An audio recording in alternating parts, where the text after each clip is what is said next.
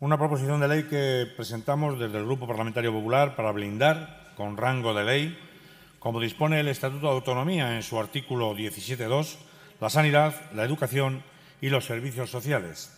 Dicho de otra manera, se trata de apuntalar al máximo la arquitectura básica de nuestra comunidad autónoma. Es una proposición de ley necesaria por tres motivos. Primero, porque es el momento oportuno. Segundo, porque es un instrumento más para evitar la despoblación y tercero, porque servirá para que nadie pueda debilitar el nivel que en este momento tienen estos servicios. Lo voy a explicar.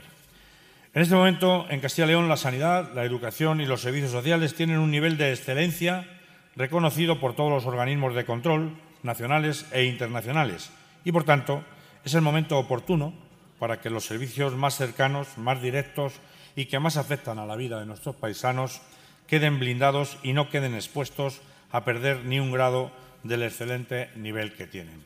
El proyecto de ley de servicios públicos esenciales que nos trae aquí el Grupo Popular y que con tanta laraca anunció el señor Mañó con su investidura, hoy se convertirá definitivamente en una ley inútil, inservible, anodina, que lejos de servir a los intereses de las personas de Castilla y León, servirá exclusivamente a los intereses del Partido Popular, puesto que tiene como único objetivo crear ante la opinión pública la imagen ilusoria de que al PP le preocupa algo el medio rural cuando no es cierto. El medio rural de Castilla y León seguirá tan abandonado como siempre. Y las personas que viven en él tendrán exactamente las mismas dificultades que ayer para recibir los servicios públicos que les debería de proporcionar la Junta. Ni más ni menos.